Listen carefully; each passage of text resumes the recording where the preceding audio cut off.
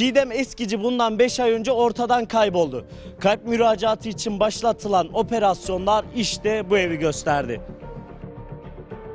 Çiğdem Eski Demirci'nin kaybolmasını şüpheli olarak değerlendiren Asayi Şube Müdürlüğü Cinayet Büro Amiriye ekipleri kadının son görüldüğü bölgelerden geriye dönük güvenlik kamera kayıtlarını incelemeye aldı. 35 yaşında cinayete kurban giden kadının işte tam bu arkamızda gördüğünüz müstakil evin bahçesinde gömülü olduğu ortaya çıktı. Ekipler eski demircinin kaçırılmış ya da öldürülmüş olabileceği şüphesiyle 4 kişiyi gözaltına aldı.